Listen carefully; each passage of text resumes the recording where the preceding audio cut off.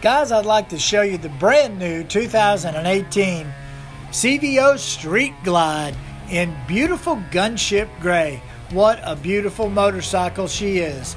And of course, since she's a CVO, she shows up with the big 117 cubic inch motor and that smooth six speed transmission. These CVO models have it all, and I mean all. Look, let's take a, a look at this right hand saddlebag, walk around back. You can see the premium CVO lighting. Let's come up over that seat, up the tank to that inner fairing, and there's that big 6.5 infotainment screen. Now let's check out the left side. Let's look at this saddlebag. Let's come down here and check out the primary with that big 117 badging on it. Yeah, people will look at that and go, what? And there's that heel toe shifter for that smooth six speed transmission.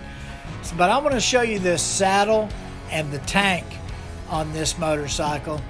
It, this gunship gray is absolutely one of the most favorite colors of the 2018 CVO lineup.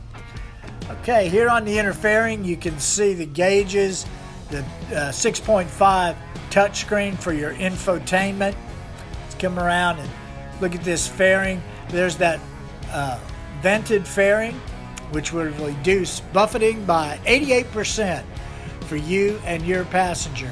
Of course, it has premium lighting. Let's go down and look at the beautiful paint on this front fender.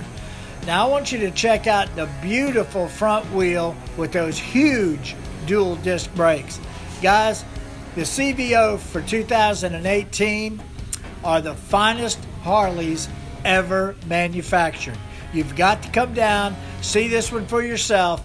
Take it for a ride, guys. Chances are you'll probably be taking her home.